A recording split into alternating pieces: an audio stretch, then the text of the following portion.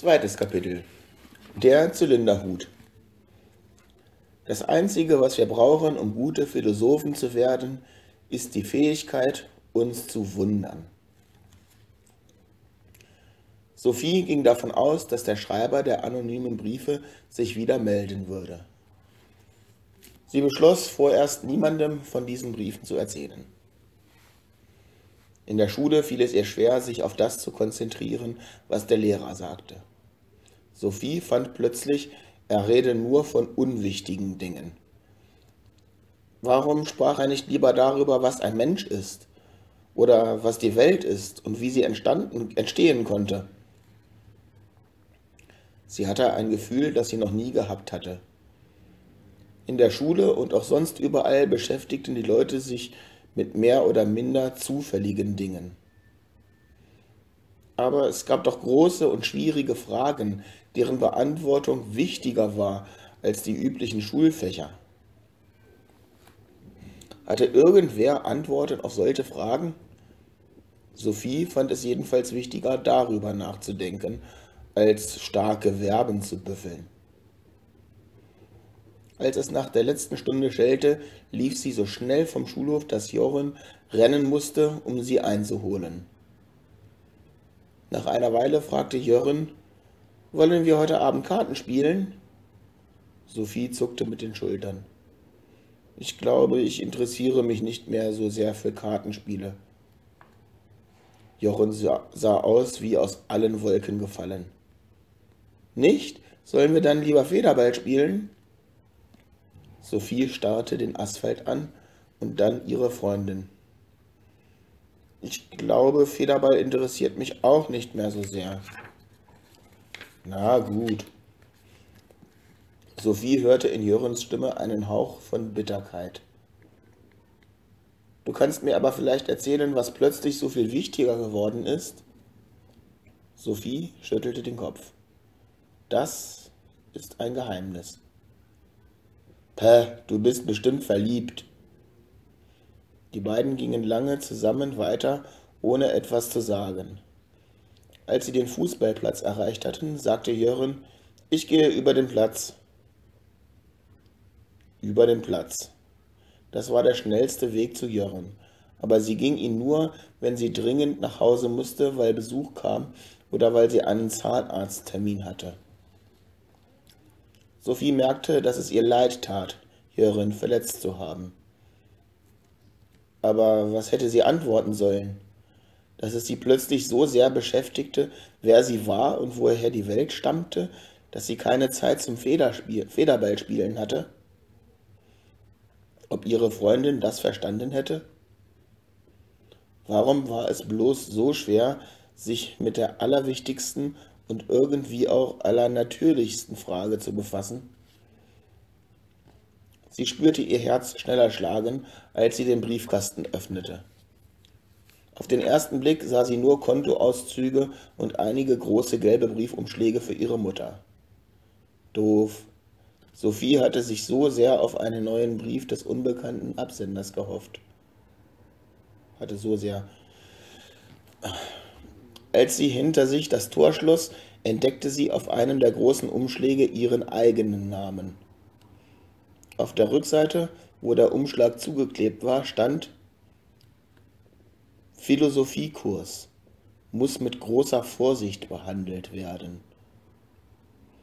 Sophie lief über den Kiesweg und stellte ihre Schultasche auf die Treppe. Sie schob die übrigen Briefe unter die Fußmatte, rannte in den Garten hinter das Haus und suchte Zuflucht in der Höhle. Der große Brief musste dort geöffnet werden. Sherikan kam ihr nachgerannt, aber die, dagegen konnte sie nichts machen. Sophie war sich aber sicher, dass die Katze nichts ausplaudern würde.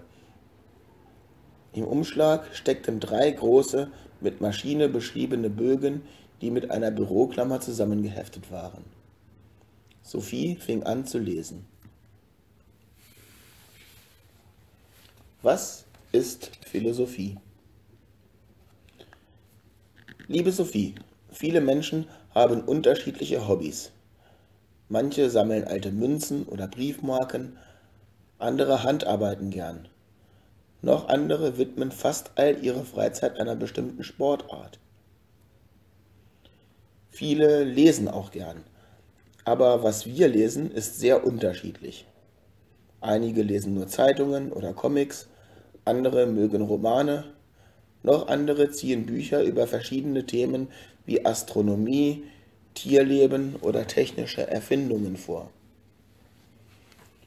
Wenn ich mich für Pferde oder Edelsteine interessiere, kann ich nicht verlangen, dass alle anderen diese Interessen teilen.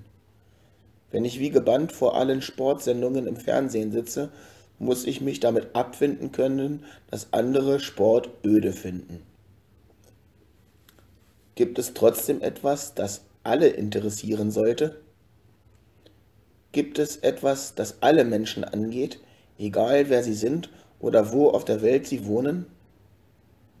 Ja, liebe Sophie, es gibt Fragen, die alle Menschen beschäftigen sollten. Und um solche Fragen geht es in diesem Kurs. Was ist das Wichtigste im Leben? Wenn wir jemanden in einem Land mit Hungersnot fragen, dann lautet die Antwort Essen. Wenn wir dieselbe Frage an einen Frierenden stellen, dann ist die Antwort Wärme. Und wenn wir einen Menschen fragen, der sich einsam und allein fühlt, dann lautet die Antwort sicher Gemeinschaft mit anderen Menschen. Aber wenn alle diese Bedürfnisse befriedigt sind, gibt es dann immer noch etwas, das alle Menschen brauchen? Die Philosophen meinen ja. Sie meinen, dass der Mensch nicht vom Brot allein lebt. Alle Menschen müssen natürlich essen. Alle brauchen auch Liebe und Fürsorge. Aber es gibt noch etwas, das alle Menschen brauchen. Wir haben das Bedürfnis herauszufinden, wer wir sind und warum wir leben.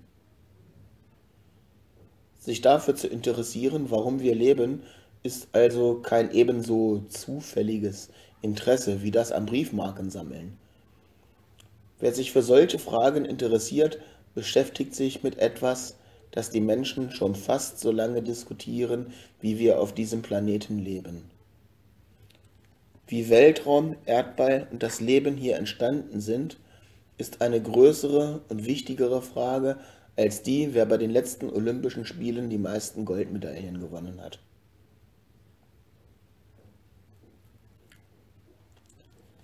Die beste Herangehensweise an die Philosophie ist es, philosophische Fragen zu stellen.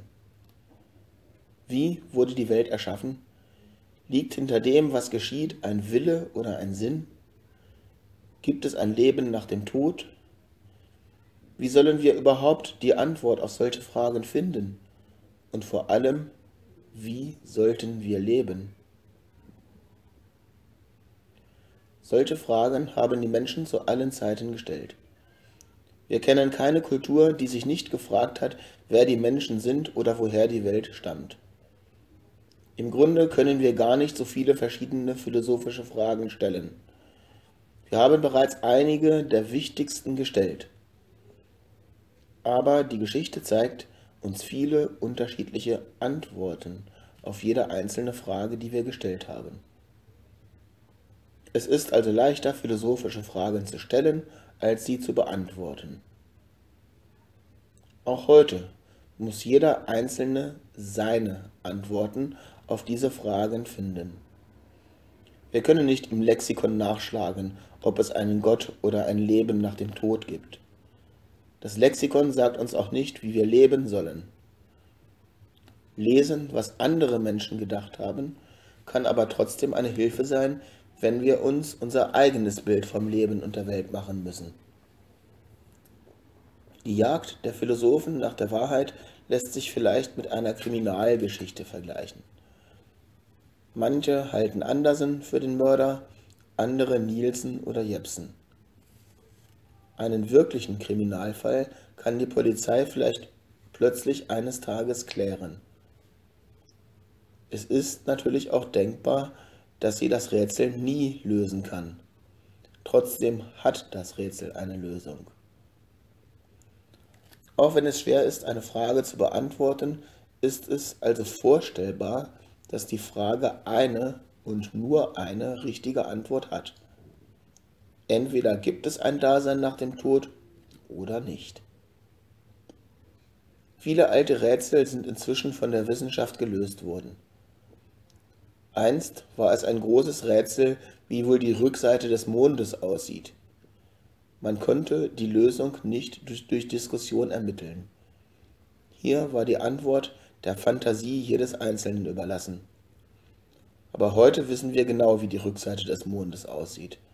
Wir können nicht länger glauben, dass im Mond ein Mann wohnt oder dass der Mond aus Käse besteht. Einer der alten griechischen Philosophen, die vor über 2000 Jahren gelebt haben, glaubte, dass die Philosophie durch die Verwunderung der Menschen entstanden sei. Der Mensch findet es so seltsam zu leben, dass die philosophischen Fragen ganz von selber entstehen, meinte er. Das ist so, als wenn wir bei einem Zaubertrick zusehen. Wir können nicht begreifen, wie das, was wir sehen, möglich ist. Und dann fragen wir danach. Wie konnte der Zauberkünstler zwei weiße Seidenschals in ein lebendiges Kaninchen verwandeln? Vielen Menschen kommt die Welt genauso unfassbar vor wie das Kaninchen, das ein Zauberkünstler plötzlich aus einem eben noch leeren Zylinderhut zieht. Was das Kaninchen betrifft, so ist uns klar, dass der Zauberkünstler uns an der Nase herumgeführt hat. Wenn wir über die Welt reden, liegen die Dinge etwas anders. Wir wissen, dass die Welt nicht Lug und Trug ist, denn wir laufen auf der Erde herum und sind ein Teil der Welt. Kommentar. Also nicht, dass ich das glaube, aber rein theoretisch ist es philosophisch auch vorstellbar, dass die ganze Welt Lug und Trug ist. Also nicht, dass die Menschen alle äh, lügen und betrügen, das äh, machen zwar auch äh, zu viele Menschen, aber dass die ganze Welt nur eine Fantasievorstellung sein könnte, ist ziemlich absurd, aber Wissen, dass die Welt nicht Lug und Trug ist, dem würde ich nicht zustimmen. Weiter im Text. Im Grunde sind wir das weiße Kaninchen, das aus dem Zylinder gezogen wird. Hui. Der Unterschied zwischen uns und dem weißen Kaninchen ist nur, dass das Kaninchen nicht weiß, dass es an einem Zaubertrick mitwirkt. Mit uns ist das anders. Wir glauben, an etwas Rätselhaftem beteiligt zu sein und würden gerne klarstellen, wie alles zusammenhängt. PS, was das weiße Kaninchen betrifft, so ist es vielleicht besser, es mit dem gesamten Universum zu vergleichen. Wir, die wir hier wohnen, sind das wimmelnde Gewürm tief unten im Kaninchenfell. Aber die Philosophen versuchen, an den dünnen Haaren nach oben zu klettern, um dem großen Zauberkünstler voll in die Augen blicken zu können. Bist du noch da, Sophie? Fortsetzung folgt.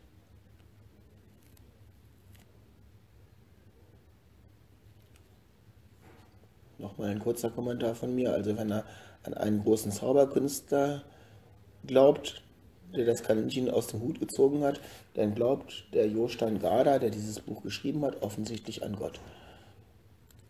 Mal sehen, ob sich das noch weiter so bewahrheitet oder wie er die Philosophen darstellt, ob er da immer wieder über Gott spricht oder nicht. Weiter im Text. Jetzt wieder mit Sophie. Sophie war ganz schwach. Ob sie noch da war? Sie wusste nicht einmal, ob sie beim Lesen, Lesen überhaupt Atem geholt hatte. Wer hatte den Brief gebracht? Wer, wer? Es konnte unmöglich derselbe sein, der Nora Möller-Knag die Geburtstagskarte geschickt hatte, denn die hatte Briefmarke und Stempel gehabt. Der gelbe Briefumschlag aber war gleich in den Briefkasten gelegt worden, genau wie vorher die beiden Weisen. Sophie sah auf die Uhr. Es war erst Viertel vor drei. Erst in zwei Stunden würde ihre Mutter von der Arbeit kommen. Sophie lief wieder in den Garten und zum Briefkasten. ob da wohl noch mehr liegen konnte? Sie fand einen weiteren gelben Briefumschlag, auf dem ihr Name stand. Sie sah sich um, konnte aber niemanden entdecken. Sophie rannte zum Waldrand und hielt auf dem Weg Ausschau, aber auch dort fand sie keine Menschenseele. Plötzlich glaubte sie, tiefer im Wald Zweige knacken zu hören. Sie war sich aber nicht ganz sicher, und es hätte ja doch keinen Zweck gehabt, loszustürmen. Wenn irgendwer versuchte, vor ihr wegzulaufen, würde sie ihn kaum einholen. Sophie schloss die Haustür auf und legte ihre Schultasche und die Post für ihre Mutter auf den Boden. Sie lief auf ihr Zimmer, nahm sich die große Kuchendose mit den vielen schönen Steinen, kippte die Steine auf den Boden und legte die beiden großen Umschläge in die Dose. Dann lief sie mit der Dose im Arm wieder in den Garten. Vorher stellte sie Sherikan noch Futter hin. Mietz, mietz, mietz. Als sie wieder in der Höhle saß, öffnete sie den Briefumschlag und zog mehrere mit Maschine beschriebene Bögen heraus. Sie fing an zu lesen. Da wären wir wieder. Du hast sicher schon begriffen, dass dieser kleine Philosophiekurs in passenden Portionen kommt. Hier ein paar weitere einleitende Bemerkungen. Habe ich schon gesagt, dass die Fähigkeit, uns zu wundern, das Einzige ist, was wir brauchen, um gute Philosophen zu werden? Wenn nicht, dann sage ich das jetzt. Die Fähigkeit, uns zu wundern, ist das Einzige, was wir brauchen, um gute Philosophen zu werden. Alle kleinen Kinder haben diese Fähigkeit, das ist ja wohl klar. Nach wenigen Monaten werden sie in eine nagelneue Wirklichkeit geschubst. Aber wenn sie dann heranwachsen, scheint diese Fähigkeit abzunehmen. Woher kann das kommen? Kann Sophie Amundsen diese Frage beantworten? Also, wenn ein kleines Baby reden könnte, würde es sicher erzählen, in was für eine seltsame Welt es gekommen ist. Denn obwohl das Kind nicht sprechen kann, sehen wir, wie es um sich zeigt und neugierig die Gegenstände im Zimmer anfasst. Wenn die ersten Wörter kommen, bleibt das Kind jedes Mal stehen, wenn es einen Hund sieht und ruft Wow, wow. Wow, wow. Wir sehen es, wir sehen, wie es in der Kinderkarre auf und ab hüpft und mit den Armen herumfuchtelt. Wow, wow, wow, wow. Wir, die schon ein paar Jahre hinter uns haben, fühlen uns von der Begeisterung des Kindes vielleicht ein wenig überfordert. Ja, ja, das ist ein Wauwau, sagen wir, welterfahren. Aber setz dich jetzt schön wieder hin. Wir sind nicht so begeistert. Wir haben schon früher Hunde gesehen. Vielleicht wiederholt sich diese wüste Szene einige hundert Male, bis das Kind an, einen Hund, an einem Hund vorbeikommen kann, ohne außer sich zu geraten. Oder an einem Elefanten oder einem Nilpferd. Aber lange bevor das Kind richtig sprechen lernt oder lange bevor es philosophisch denken lernt, ist die Welt ihm zur Gewohnheit geworden. Schade, wenn du mich fragst. Es geht mir darum, dass du nicht zu denen gehörst, die die Welt für selbstverständlich halten, liebe Sophie. Sicherheitshalber werden wir deshalb zwei gedankliche Experimente machen, ehe wir mit dem eigentlichen Philosophiekurs anfangen. Stell dir vor, du machst eine Waldwanderung. Plötzlich entdeckst du vor dir auf dem Weg ein kleines Raumschiff. Aus dem Raumschiff klettert ein kleiner Marsmensch und starrt zu dir hoch. Was würdest du dann denken? Naja, das ist im Grunde egal. Aber ist dir je aufgegangen, dass du selber so ein Marsmensch bist? Natürlich ist es nicht besonders wahrscheinlich, dass du je über ein Geschöpf von einem anderen Planeten stolperst. Wir wissen nicht einmal, ob es auf anderen Planeten Leben gibt. Aber es ist denkbar, dass du über dich selber stolperst. Es kann passieren, dass du eines schönen Tages stutzt und dich selber auf eine ganz neue Weise erlebst. Vielleicht passiert das ja gerade auf einer Waldwanderung. Ich bin ein seltsames Wesen, denkst du. Ich bin ein geheimnisvolles Tier. Du scheinst aus einem jahrelangen Dornröschenschlaf zu erwachen. Wer bin ich? fragst du. Du weißt, dass du auf einem Planeten im Universum herumkrabbelst. Aber was ist das Universum? Bist du noch da, Sophie? Wir machen noch ein gedankliches Experiment. Eines Morgens sitzen Mama, Papa und der kleine Thomas, der vielleicht zwei oder drei ist, in der Küche beim Frühstück. Plötzlich steht Mama auf und dreht sich zum Spülbecken um und dann, ja, dann schwebt Papa plötzlich unter der Decke. Was glaubst du? sagt Thomas dazu. Vielleicht zeigt er auf seinen Papa und sagt, Papa fliegt. Sicher wäre Thomas erstaunt, aber das ist er ja sowieso. Papa macht so viele seltsame Dinge, dass ein kleiner Flug über den Frühstückstisch in seinen Augen keine große Rolle mehr spielt. Jeden Tag rasiert er sich mit einer winzigen Maschine, manchmal klettert er aufs Dach und dreht an der Fernsehantenne herum, oder er steckt den Kopf in den Automotor und kommt rabenschwarz wieder zum Vorschein. Und dann kommt Mama an die Reihe. Sie hat gehört, was Thomas gesagt hat und dreht sich resolut um. Wie, glaubst du, wird sie auf den Anblick des frei schwebenden Papas über dem Küchentisch reagieren? Ihr fällt sofort das Marmeladenglas aus der Hand und sie heult vor Entsetzen auf.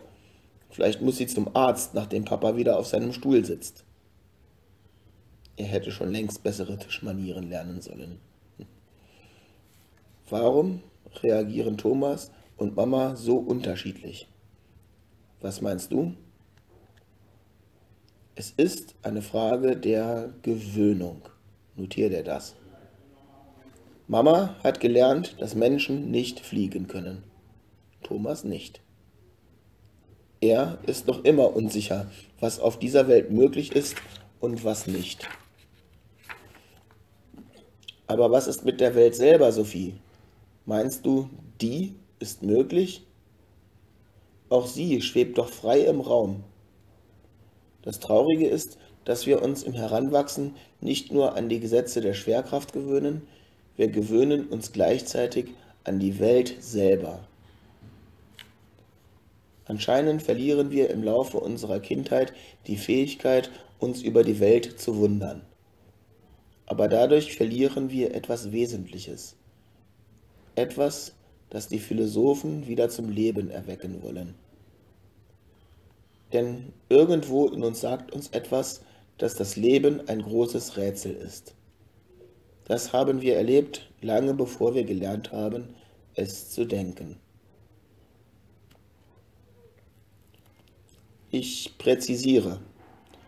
Obwohl die philosophischen Fragen alle Menschen angehen, werden nicht alle Menschen Philosophen.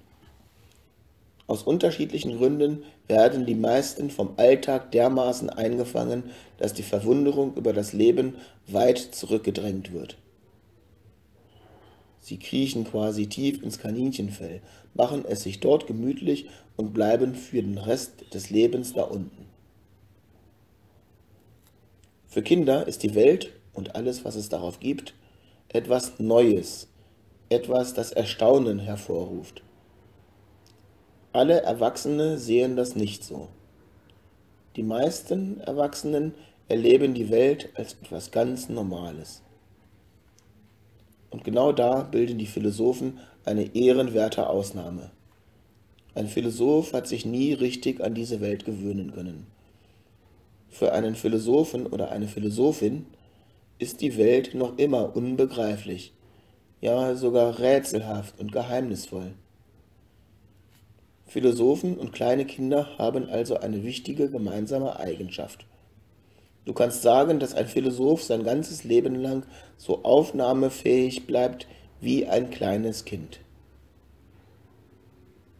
Und jetzt musst du dich entscheiden, liebe Sophie. Bist du ein Kind, das sich an die Welt noch nicht gewöhnt hat? Oder bist du eine Philosophin, die beschwören kann, dass ihr das auch nie passieren wird? Wenn du einfach den Kopf schüttelst und dich weder als Kind noch als Philosophin fühlst, dann liegt das daran, dass du dich in der Welt so gut eingelebt hast, dass sie dich nicht mehr überrascht. In dem Fall ist Gefahr im Verzug. Und deshalb bekommst du diesen Philosophiekurs. Sicherheitshalber eben. Ich will nicht, dass gerade du zu den Trägen und Gleichgültigen gehörst. Ich will, dass du ein waches Leben lebst. Du bekommst den Kurs vollkommen gratis. Deshalb gibt es auch kein Geld zurück, wenn du ihn nicht mitmachst.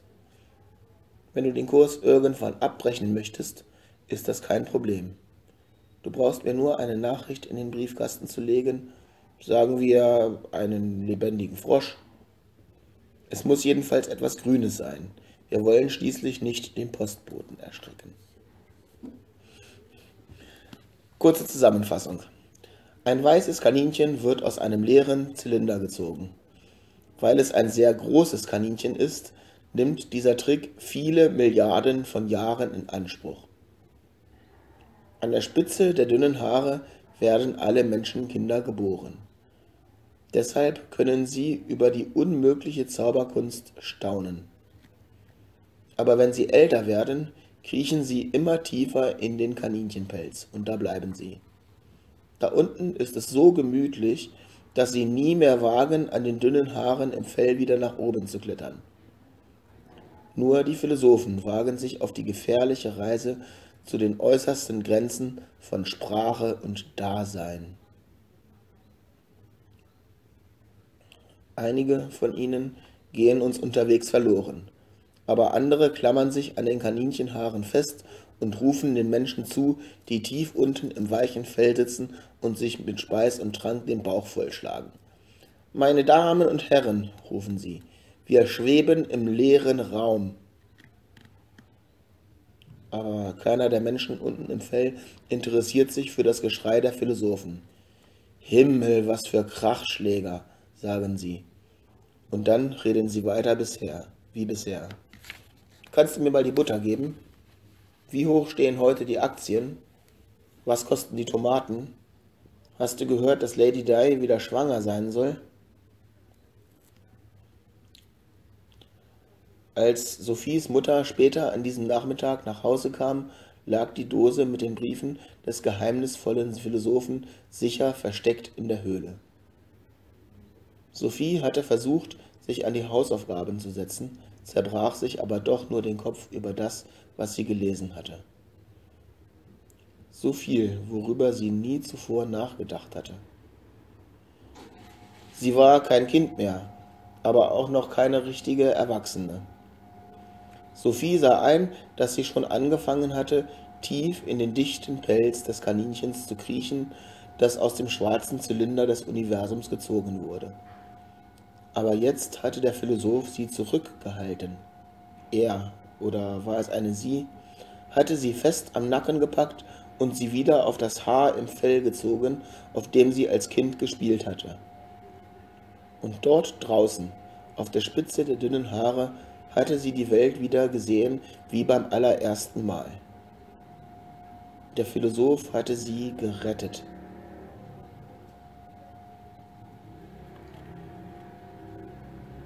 Kommentar.